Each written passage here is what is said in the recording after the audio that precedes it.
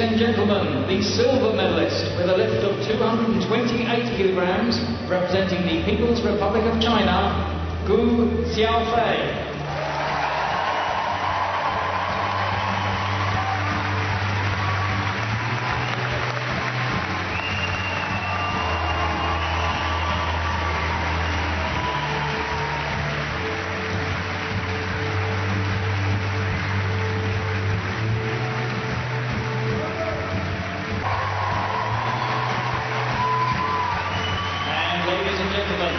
The gold medalist and Paralympic champion with a lift of 237 kilograms, representing the Islamic Republic of Iran, Majid Farzin.